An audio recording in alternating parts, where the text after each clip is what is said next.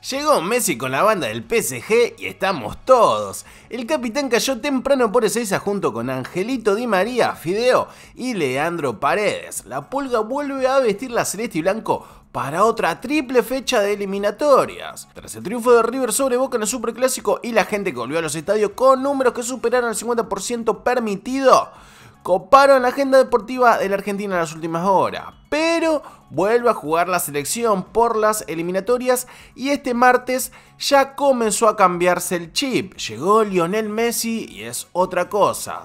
Se lo pudo ver al capitán de la selección argentina acercarse al público a tomarse fotos y a firmar autógrafos. Una verdadera personalidad de capitán. Estas noticias y muchas cosas más las vas a encontrar acá en Notivisa de José para el Mundo. Chao, chao.